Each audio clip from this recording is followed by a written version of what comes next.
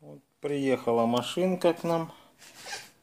Слегка поцарапанная.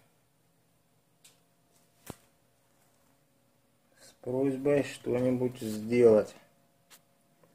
Насколько это возможно. Чудес, конечно, не бывает. Вот эти вещи уже не уберешь. Вот, ну, минимизировать, постараться сделать более-менее аккуратно. Это возможно. Вот они, царапушек тут куча. Сейчас я попытаюсь снять без... А без вспышки ничего не видно. Надо подсвечивать. Ну, вот такая вот ситуация.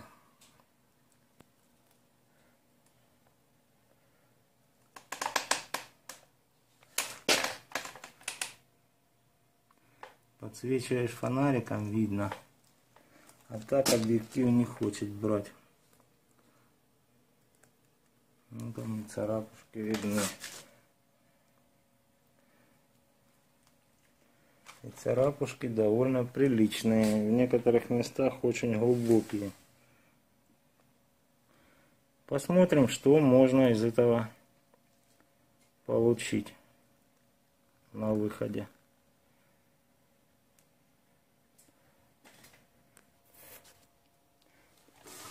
Для этого мы возьмем трезак трехтысячный и на мокренькую будем подглаживать это все. Я не хочу брать шкурки там полторашку, 2000-2500, как бы тут толщина лака 0,1 и краски. Посмотрел по табличке толщин красок. Естественно, лак там минимально где-то третью часть будет занимать от этой толщины. Так что лучше аккуратно несколько раз пройти трехтысячкой и потом полировать абразивом, чем взять и накосячить. Ну, вот он первый Начинаем. проход, видно, что глянец здесь снят. Эти места, конечно, плохо видно. Сейчас я включу. Вот так получше видно. Места, где продрано, конечно, придется тут постараться. Самое главное, чтобы не прошлифоваться.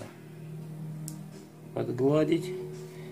Я в данном случае просто померил толщиномером толщину, чтобы, как говорится, контролируемо снимать лачок, поскольку так на глаз не увидишь сколько ты снял, хотя бы приблизительно можно ориентироваться, чтобы не прошлифоваться. На этой поверхности, где не шкуренная, показывала 0,12, а тут показывает 0,10.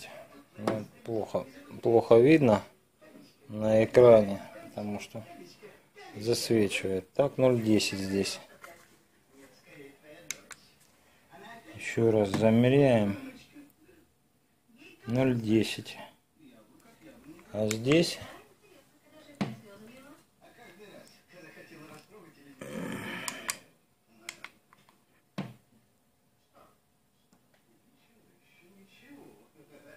Здесь, как мы видим, 0,12.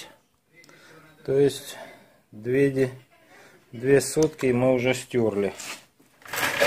Ну ничего немножечко, полегонечку, конечно, уже немножко выходит, но тут, как говорится, чудес не будет. Но подубрать можно. И с помощью такого нехитрого приборчика, толщиномера, можно смотреть, чтобы не больше 0,1 стереть. То есть, чтобы одну десятку оставить. Иначе можно лак прополировать. И потом начнутся проблемы. 0,10 вот сбоку видно показывает. Конечно же это осталось. Следы. Вот видно. Еще разочек пройду, уже как бы по максимуму, можно сказать, я выбрал. Вот эти полосы, конечно, их только получится подзагладить чуть-чуть. Иначе можно прошлифоваться. В данном случае принцип такой, не навреди. Люблю я мензерновские полирольки.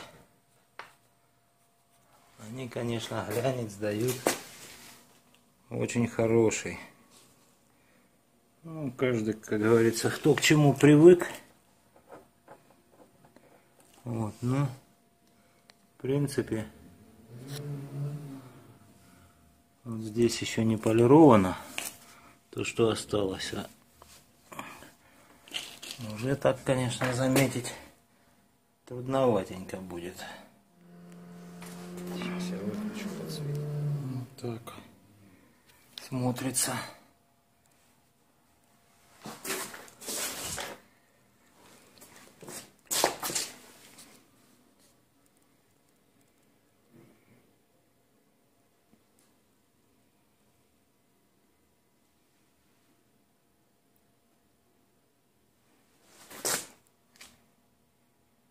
Неплохо.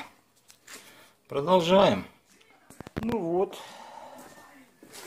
Пришлось полирнуться отсюда и весь бок. Чтобы все было ровно, красиво и аккуратно.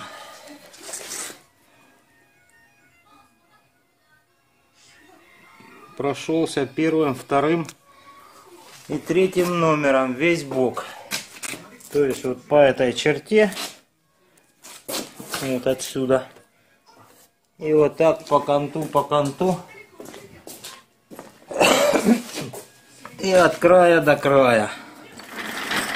Результат получился довольно хорошим, потому что если полировать вот так участками, где именно царапины, получается как проплешины. А так, кант вот этот вот по канту как бы отбилась. Ну и смотрим, из-за чего мы, как говорится, воевали. Конечно, если приглянуться, тут очень серьезно следы остались. А так, все нормально. Естественно, там, где вот сбито, вот такие вещи. Вот. Здесь сбит лак. Или вообще вот он скол. Вот он скольчик краски. Вот он скол. Вот. Тут уже ничего не поделаешь. А так, вот здесь вот маленькие следы остались. Ну, а в общем-то, вот мы смотрим на машину, как раньше было. Это все было видно невооруженным глазом. Сейчас этого не видно. Вот такая вот небольшая работа была сделана. Немножко машинку привели в порядок на радость хозяевам. Ну вот и все. Всем удачи, пока-пока. Ставьте лайки, пишите комментарии, задавайте вопросы по скрипту. Всем удачи. Вот меряем толщину. Показывает 0,15. Но я не буду переворачивать. Это крыло делалось вот, 0,24, ну и так далее. Вот кое-где показывает 0,14, но крылышко подкрашенное. Вот. А так показывает 0,10. 0,10, 0,9. 0.11 здесь вот мы меньше снимали. Ну, было 0.11. 0.9 здесь пришлось чуть подрезать. 0.10. Вот здесь чуть больше, 0.8. Вот, так что вот так можно аккуратненько, пользуясь вот таким довольно-таки недорогим приборчиком нашим толщиномером. Меряет он, что мне нравится. Два знака после запятой, это как бы ну, хорошая штука. Вот. Всем рекомендую, особенно тем, кто начинает, поначалу пользоваться таким приборчиком, дабы не попасть на покраску. Лучше, как говорится, не доубрать какой-то косячок, чем прошлифоваться до базы там, а то и до грунта бывают, товарищи, видел не раз работу, смотрят, как я делаю, и себе. Потом приходят, говорят, а что ж так получилось? Вот. Поэтому лучше не дошлифовать, не дополировать, чем, как говорится, попасть на покраску. Будьте аккуратны.